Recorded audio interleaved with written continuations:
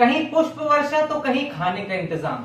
समाज सेवी लगातार अपने अपने तरीके से इन दिनों कहीं पुलिस को पुष्प गुच्छ से स्वागत करते दिखाई दे रहे हैं, या तो कहीं खाने का इंतज़ाम करते हुए। नमस्कार, आप देख रहे हैं न्यूज़ नेटवर्क टुडे। मैं जीशान जावेद आपके साथ। रीवा के समाज सेवियों के अंदाज इस समय निराले हैं।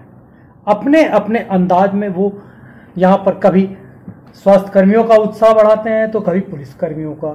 उसके बाद सड़क के किनारे खड़े होकर जरूरतमंदों तक खाना भी पहुँचाने लगते हैं। ऐसा ही नज़ारा कुछ इन दिनों देखने में नज़र आ रहा है। रीवा के बिछिया अस्पताल में रायल राजपूत संगठन के लोगों ने पुष्प गुच्छ से वहाँ पर पुलिसकर्मियों का स्वागत किया, उनका उत्साह बढ़ाया। तो वहीं नेशनल हाईवे के ऊपर समाजवादियों ने गरीबों तक, जरूरतमंदों तक वहाँ से निकलने वाले लोगों को दो वक्त की रोटी का इंतज़ाम किया।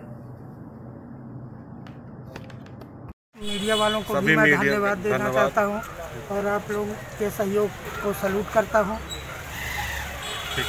हमारी समाजवादी पार्टी जो यहाँ के कोई किसी तरह बीमार हो गया तो उसकी भी सेवा करने के लिए तत्पर है। बगल में हॉस्पिटल है वहाँ भी भिजवाने का कार्य कर रहे हैं। दवा की व्यवस्था करवा रहे हैं मास्क की व्यवस्था करवा रहे हैं। इसी तरह समाजवादी पार्टी हर क्षेत्रों में यानी इनके लिए बेहतरीन काम करने का प्रयास कर रही है। अपना नाम जी बताइए। मैं प्रदीप सिंह मांडस जिला महासचिव समाजवादी पार्टी। हमारे प्रभारी महोदय श्री राम सुंधिया जी हैं इनका सहयोग प्रदान है। जिला अध्यक्ष महोदय अजय शुक्ला जी हैं।